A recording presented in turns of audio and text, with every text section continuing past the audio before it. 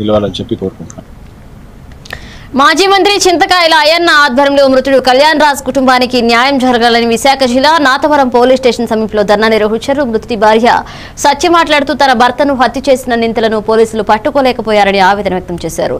ఈ ధర్నాలో మండల టీడీపీ నాయకులు నందిపల్లి వెంకటరమణ మండల జడ్పీటీసీ శుక్ల రమణమ్మ పారుపల్లి కృష్ణవేణి పాల్గొన్నారు.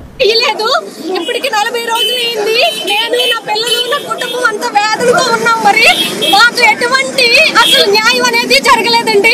ఈ రోజు ఈ ధర్నా కార్యక్రమము మరి అయ్యన్న పార్టీ ముఖ్యమంత్రి అయ్యన్న పాత్రుడు గారి సమక్షంలోని అధ్యక్షుల్లో జరుగుతుంది.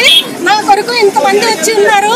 ఈ యొక్క ధర్నా కార్యక్రమాన్ని మరి నాకు కానీ న్యాయం జరగకపోతే ఈ ధర్నా కార్యక్రమాన్ని ఇంకా మండలం వైజ్ అలాగే నియోజకవర్గం అలాగే జిల్లా అలాగే ఇంకా మన స్టేట్ వైజ్ రాష్ట్ర స్థాయిలో కూడా నేను ధర్నా చేయడానికి సిద్ధంగా ఉన్నాను. నా అందరికి నాకు మాత్రం అందరూ సపోర్ట్ చేయాలి. నా భర్తని ఎవరైతే చంపారో చంపిన వాళ్ళు మాత్రం ఖచ్చితంగా శిక్షించాలి. నాకు న్యాయం జరగాలి. న్యాయం జరిగే వరకు నేను పోరాటాన్ని కొనసాగిస్తూనే ఉంటాను. చావైనా ఏదైనా సరే నేను నా భర్త కోసం మాత్రం నేను ఖచ్చితంగా పోరాటం అనేది చేస్తాను. రిపోర్ట్స్ కూడా దొంగ రిపోర్ట్లు సృష్టిస్తున్నారు. దొంగ రిపోర్ట్లు సృష్టించి అందులో లేనివి ఆయన హత్య చేశారని చంటి